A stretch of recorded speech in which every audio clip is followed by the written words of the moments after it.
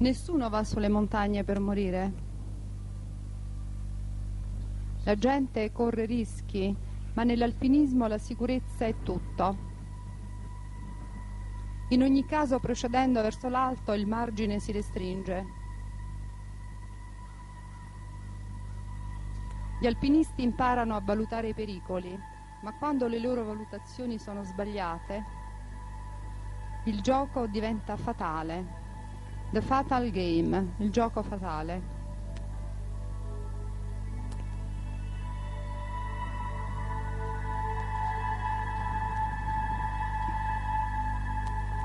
Di tutte le guide, Mark Bichu è una delle più fortunate. A 37 anni ha scalato l'Everest due volte per la via più dura, quella della cresta nord, ed è riuscito a cavarsela. Oggi sta guidando una squadra di scalatori inesperti sulla sesta vetta più alta del mondo, il Cho Oyo in Tibet. Questo è l'alpinismo degli anni 90, è desiderio di conquistare la vetta. Chiunque può scalare una montagna di 8000 metri e sciare sulla sua cima. È un'altezza accessibile, però Mark Bichu non si fida più di tanto, si preoccupa molto per la vita dei suoi clienti. Lui sa che la montagna può diventare facilmente un killer spietato.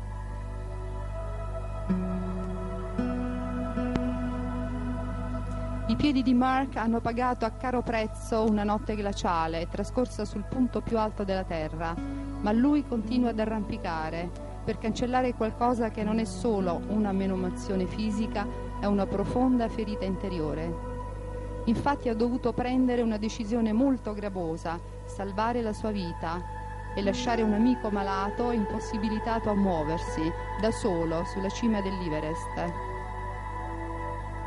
Ha fatto tutto il possibile, ma ho sempre la sensazione che avrei potuto fare di più. È qualcosa che mi si è insinuato dentro, non ce l'ho fatta. Quando sono tornato a casa ho passato molto tempo, da solo, a guardarmi indietro e a pensare come sarebbe andata se invece ho, ho un opprimente senso di colpa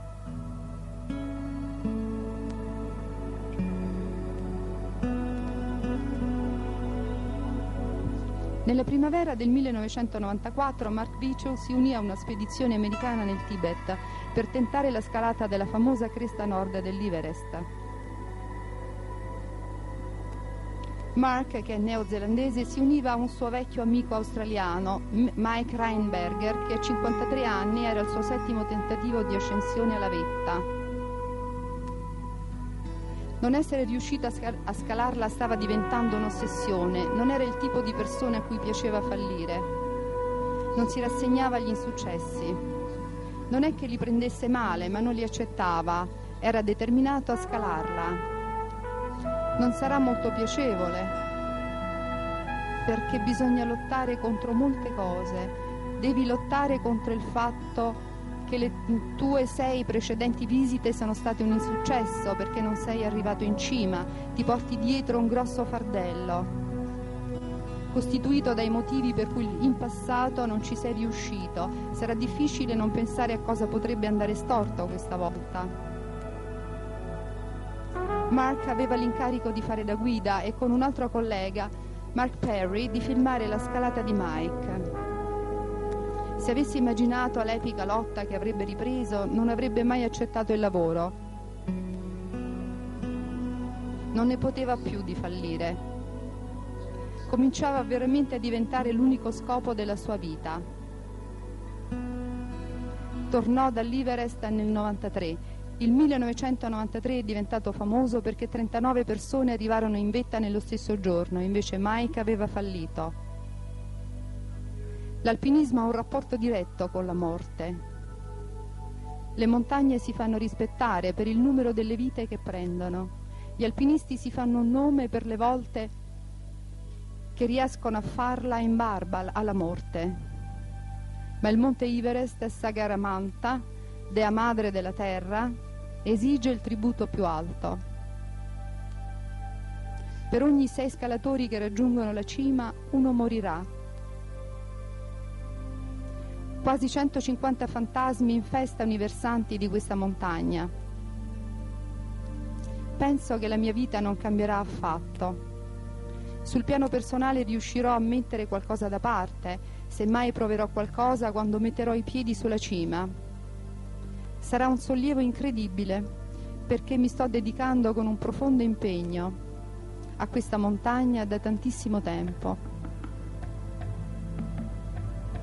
Su un piano molto più superficiale sarebbe bello tornare nella mia vecchia scuola come il primo studente del college ad avere scalato l'Everest. Sarei il primo laureato nell'Università di Melbourne ad averlo fatto. Se mi invitassero a prendere il tè con il vice cancelliere sarebbe divertente.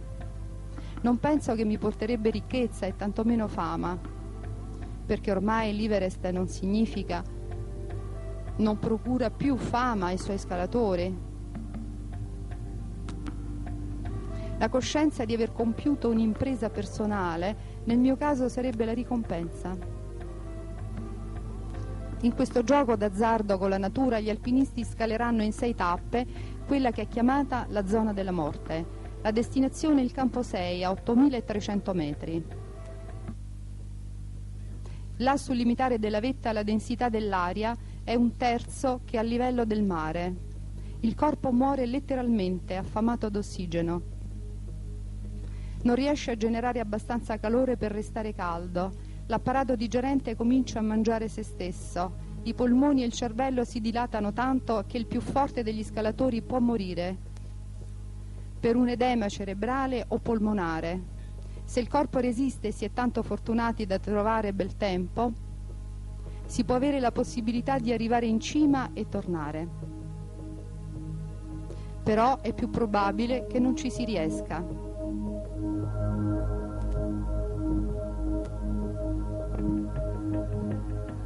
Per anni ho sentito parlare dei suoi insuccessi, ma molti erano davvero dovuti alle sue valutazioni sulla montagna. Non, non aveva molta esperienza nel prendere le decisioni.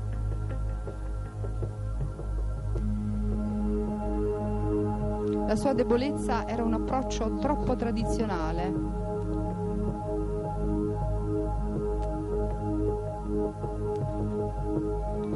Ne parlammo molto, io gli dissi che doveva andare a farlo, mi chiese che volevo dire con andare a farlo, gli risposi che doveva scegliere il giorno,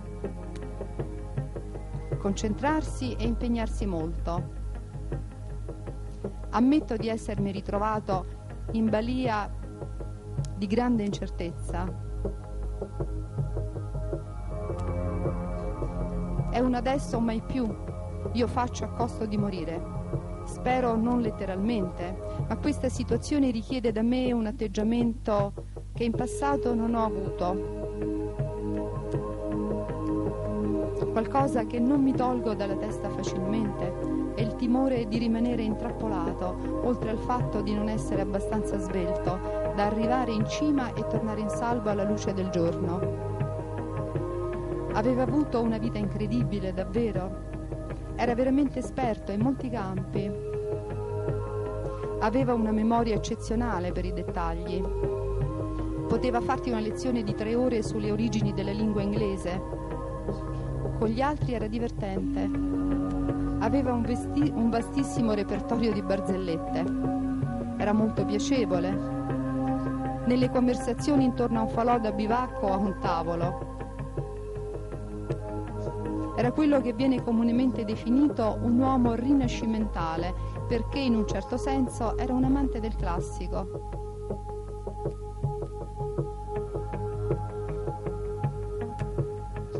Odiavo la sua musica, Dio. Era chiaro che non sapeva cantare perché era monotono. Quando canticchiava la musica classica che ascoltava, noi eravamo sempre vicini di tenda e io cercavo di superarlo con i miei gruppi preferiti. Ovviamente detestava i Guns and Roses, ma ero riuscito a fargli ascoltare un po' gli Smashing Pumpkins.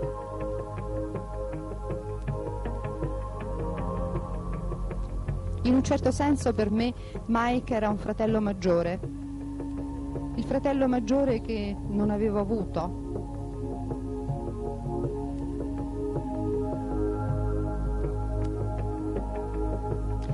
Metodo, eh, quale metodo adotti per caricarti psicologicamente? Di solito mi lascio attraversare la mente da pensieri piacevoli, che riguardano il ritorno a casa,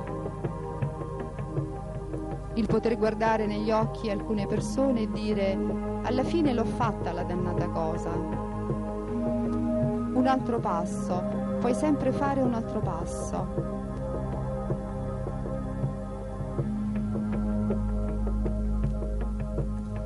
Perry e io avevamo fatto il passo, lo, il patto che lo avremmo preso e rialzato insieme. Infatti avremmo dovuto trascinarlo, portarlo su e riportarlo indietro. Sarebbe stato così finché non fossimo arrivati al campo 6. Sfortunatamente a Perry venne una specie di aneurisma e perse la voce, così dovette tornare immediatamente. All'improvviso mi ritrovai da solo con Reinberger.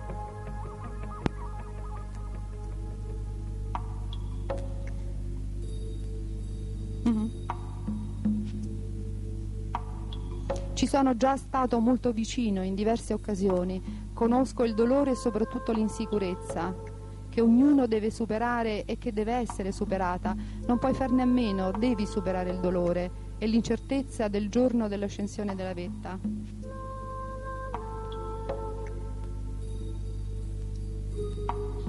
I guai per Mark cominciarono la notte prima. Avevamo stabilito di partire a luna di notte, ma c'era troppo vento, così decidemmo di modificare l'orario. Se partivamo alle due, avevamo ancora una possibilità di ascendere la vetta. Invece non riuscimmo a partire prima delle tre e mezza. Se non, se non si è davvero molto veloci, a quell'ora è troppo tardi. È successo esattamente questo, partimmo in ritardo. Sull'Iverest e in particolar modo sulla cresta nord, la maggior parte delle difficoltà, quelle più serie dell'itinerario, si incontra il giorno dell'ascensione della vetta. Era chiaro che scalando in quel giorno per lui l'arrampicata sarebbe stata un problema. Bisognava affrontare tre speroni conosciuti come il primo, il secondo e il terzo gradino. Sono ripidi, esposti e addosso si hanno una tuta imbottita e i ramponi. Le cose cominciarono ad andare a rilento quando Mike salì sul primo gradino. Ricordo di aver notato che sembrava molto stanco poco prima del secondo gradino che mi resi conto di quanto fossimo in ritardo. Dave Staley, che tentava la scalata con noi, si voltò e disse: Sono le due passate. Per me è troppo tardi. Io pensavo che fossero le undici e mezza, mezzogiorno al massimo. Capii che non saremmo riusciti a raggiungere la vetta. Mi sto preparando mentalmente per questo viaggio cercando di prevedere le cose che potrebbero andare male il giorno dell'ascensione della vetta e trovare il modo per affrontarle. Sono al secondo gradino. Penso che Dave tornerà indietro, non so Mark e Mike che faranno. Si stanno muovendo talmente piano. Ci hanno messo otto ore per arrivare fin là. Non vedo come possano farcela. Quando arrivammo al terzo gradino c'era ancora luce, ma si andava verso sera invece di essere metà pomeriggio. Vedo solo Vetu e Reinberger, eccoli là, vicino al primo gradino. 28 e 700 stanno andando ancora lentamente. Di questo passo ci metteranno altre due ore per arrivare in cima. Così gli dissi, e andate amico, ormai siamo tagliati fuori. Fu come se non ci fossi, ero sbalordito. Chiese quanto era lontana la vetta. Gli risposi, è troppo tardi e al